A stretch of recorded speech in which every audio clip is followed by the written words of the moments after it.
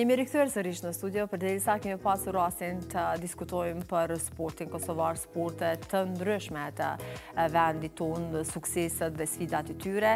Kësaj radhe do flasim për femrat në futbollin Kosovar, interesimi, cilat janë sfidat, si po qëndrojnë klubet ta mirëmbajnë, ta mbajnë vetveten dhe shumë të tjera, do të na sjellë këto informacione zonja Vjolca Krasniqi, anëtare e Komitetit Ekzekutiv të FFK-së. Përshëndetje Vjolca, mirë se erdhët. Përshëndetje Mirjeta, mirë se ju gjeta. Je e mirëseardhur, si çdo herë tjetër, do doja të di për vitin që lamë pas, kanë kaluar vetëm nëntë ditë, do doja të di se si ishte viti për juve.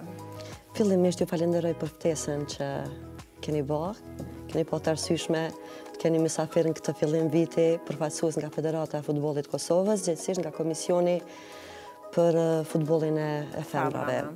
Viti 2018 ishte një vit që me ndjenja të përziera, ashtu siç edhe kemi quajtur si federatë dhe kryetari i tashëm i federatës vit i dhimbjes dhe i krenarisë, sepse viti që sapo e lamë Na la pa legjendën tonë, pa njeriun e madh të futbollit, pa Fadil Vokrrin dhe ishte një një goditje shumë e rëndë për ne. La një boshllëk shumë të madh, mirëpo proceset duhet duhet të ecin. Dhe besoj që ka lënë pas vetes shumë profesionistë të cilët uroj t'ia dalim mbanë gjithë atyre obligimeve. Si komitet ekzekutiv jemi që një kohë bashkë edhe një pjesë e madhe e stafit administrativ të federatës është në një kohë të gjatë në në federatë dhe është bërë një përvojë e mirë në në udhëheqjen e futbollit kosovar. Kështu që mund të them përveç asaj dhimbjeje, patëm edhe një vit të krenarisë, një vit ku, ku kombëtarja jonë shënoi suksese dhe rezultate të shkëlqyera në arenën ndërkombëtare që na bëri të ndjehemi, të ndjehemi shumë mirë, jo vetëm ne si federatë e futbollit, por gjithë popullin e Kosovës, gjithë ata që e duan futbollin dhe e përcjellin futbollin.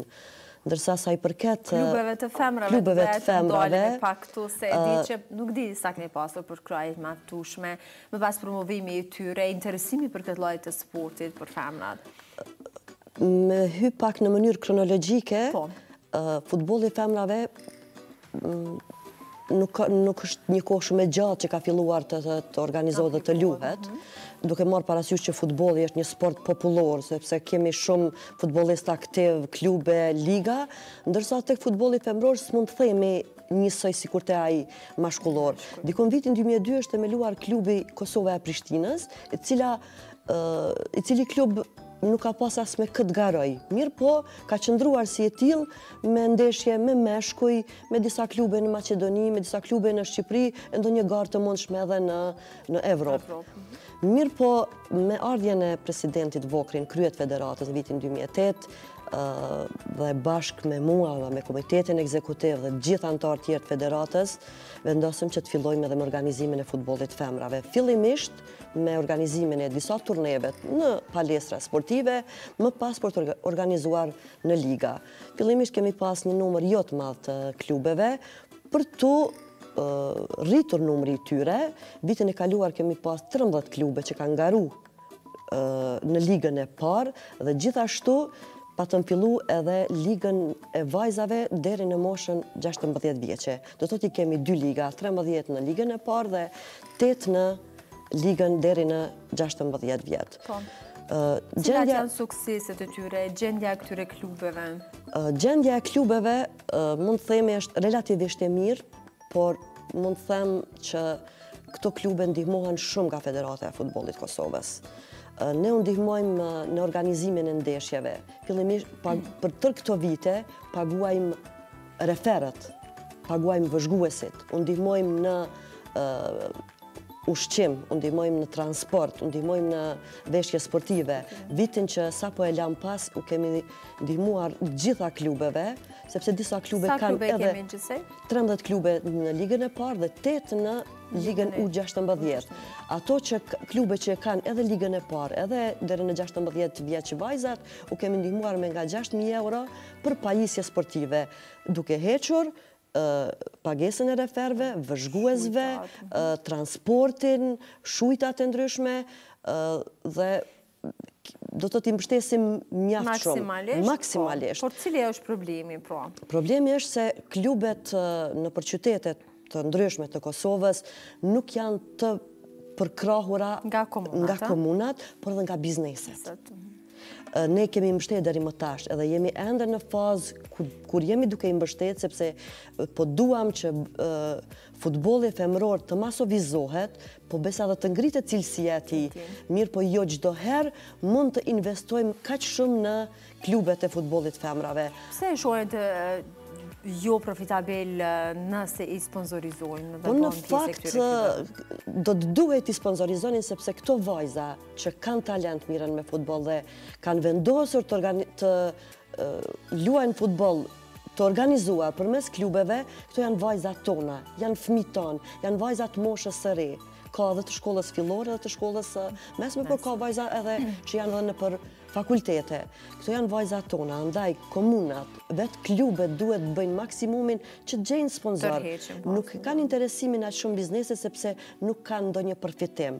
Kemi vajza që kanë dalë nga këto fusha sportive, nga këto klube, nga kjo baltë e jona që luajnë nëpër klube të Evropës. Nuk janë në masë të madhe, por luajnë. Po. Një numër i madh i vajzave tona kanë mbajt për vite të tona edhe kombëtaren e Shqipërisë, kanë luajtur edhe nëpër klube të Shqipërisë. Ne jemi pranuar shumë vonë. në arenën ndërkombëtare dhe mundësia jonë për të marrë pjesë në gara ndërkombëtare nuk ka qenë fare, kështu që mm. është që dy vite. Performanca atyre simbas juve do të thotë është e mirë, meqë janë pjesë e disa klubeve ndërkombëtare. Gjithnjë gjithnjë po vjen duke u përmirësuar edhe performanca. Po vjen sepse klubet po vijnë duke u vetëdijesu në organizimin e tyre, besa edhe ne si federatë edhe ne kemi ndryshu pak a shumë edhe ne punën tonë prej, prej pranimit, Sepse të jesh në UEFA dhe FIFA duhet të jesh shumë preciz me përgjegjësi dhe obligime shumë shumë më të mëdha sesa kur kemi qenë mhm. të papranuar. Atëherë, a kemi prurje të reja nga jashtë që luajnë për klubet tona të femrave? Tani për tani kemi dy kombëtare, dy përfaqësuese, A-në dhe deri në 19 vjeç kombëtaren. Një numër të madh të këtyne përbërjeve, në fakt sidomos të A-së, e përbëjnë vajza që luajnë në Evropë, mirëpo selektorja bashkë me kolegët e saj ka vendosë që t'ju jap rastin edhe një numri të vajzave që luajnë në klubet tona, mënyrë që mos t'ju japim motiv që të punojnë më shumë edhe vetë, që të jenë pjesë stabile e kombëtares. Gjithashtu edhe në U-nëntëmbëdhjetë, kemi një numër të vajzave nga jashtë, por shumica prej tyre janë pjesë e ligës tonë. Pjesë e ligës tonë. Atëherë, a keni, e keni promovuar mjaftushëm në vend, por edhe në rajon, apo edhe në shtetet e Evropës? Themi vitin e kaluar, meqenëse po flasim për vitin 2018,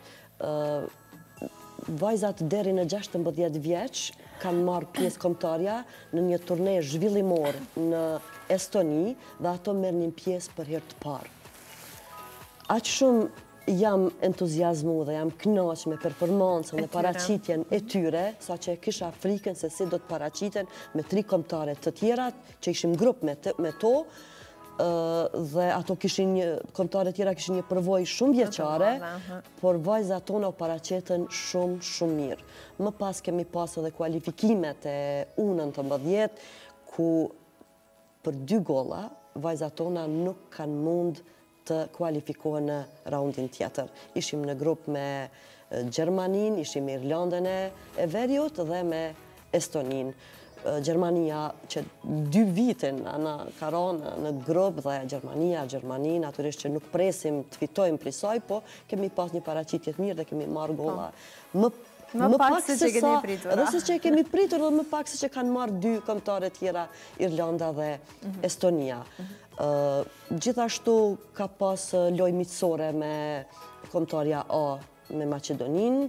Ishim në Maqedoni dy ditë në Shkup, ku dy lojë u zhvilluan, njëra u fitua nga ne dhe njëra ishte e baras dhe në Turqi tash në sezonën vjeshtore ishim në Antalja bashkë me këtë kombëtare ku u zhvilluan dy ndeshje me një kombëtare shumë të fortë me Ukrainën, natyrisht që nuk mund t'i fitonim ato, por ishte një përvojë e mirë që të kesh rival një kundërshtar të fortë dhe ta shohësh edhe ti veten se ku jemi, mhm. jo me kombëtare sepse në regjion Jemi diku afër, ndoshta edhe më mirë se se se disa kombëtare tjera, mirëpo kur kemi të bëjmë me kualifikime, vazot i kanë të gjitha kombëtaret duke filluar nga ato më të fortat, më pak, më pak deri tek deri tek kombëtarja jonë.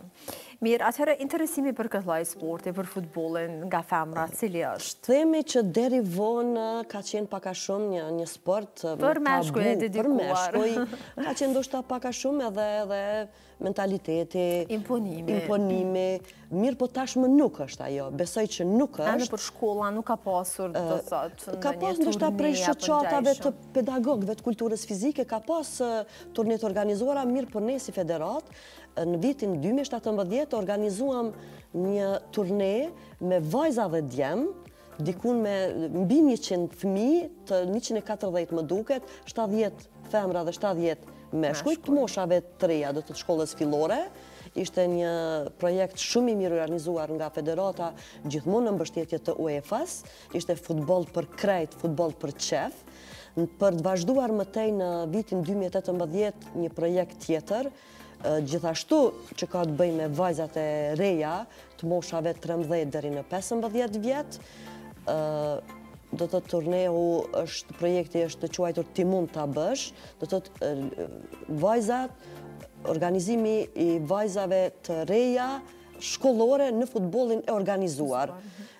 Organizuam në shtatë regjionet e Kosovës, në shtatë qendrat e mëdha, ku morën pjesë një numër i madh i shkollave, diku më duket 99 shkolla me 1000 futbollistë, me 1000 nxënëse, themi, që shërbeu shumë për trajnerët, për klubet, që të shohin kualitetin e atyre vajzave dhe të rrisin ndërgjegjësimin e tyre për t'u marrë me me futboll. Diku një numër i madh i tyre janë selektuar nga ata trajnerë që kanë marrë pjesë në këtë në këtë turne dy ditore ka zgjat në secilën në secilën komunë dhe kishte vajza që me të vërtetë dinë dhe duan të luajnë futboll.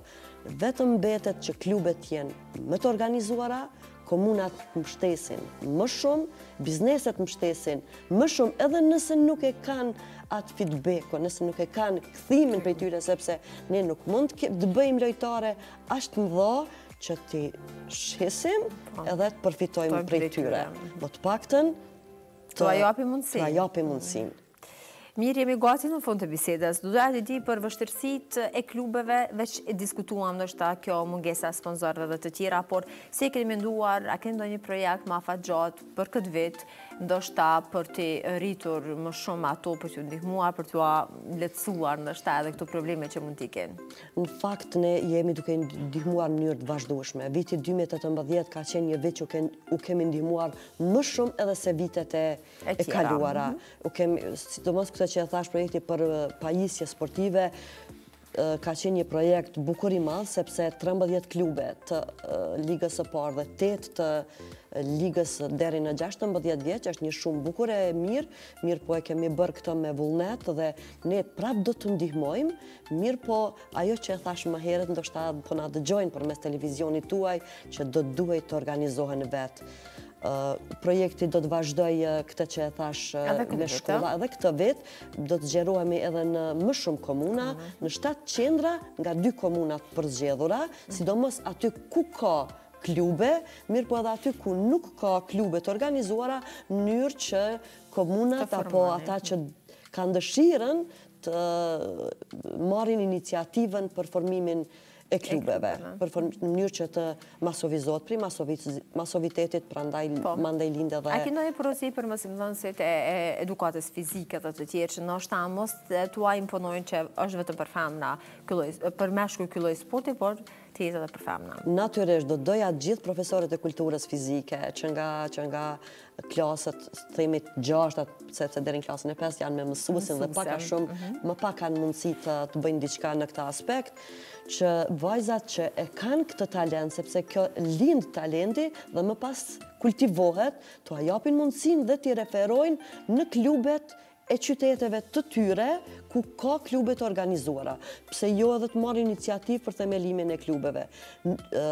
Futbolli për dallim prej sporteve tjera individuale është pak ma vështirë i organizueshëm, sepse kemi të bëjmë me terene jashtë, në kohë të vështira, luhet edhe në borë, luhet edhe në shi, luhet edhe në baltë. Ajo që na ka brengos më së shumti gjatë tërë këtyre viteve, mungesa e infrastrukturës. Terene s'ka pas të mjaftueshme dhe të gjitha klubet, themi të gjitha thuajse, u kanë dhënë përparësi duke filluar prej Superligës së meshkujve, Ligës së parë, kadetve, juniorve meshkujt, dhe më pas në fund mbetet loja e femrave. Nuk ka mundësi e shtunë dhe e diel të bëhen, të zhvillohen këto lojë, mbetet për të hënën. Të hënën ankohen, ankohen prindërit, ditë pune, ditë shkolle.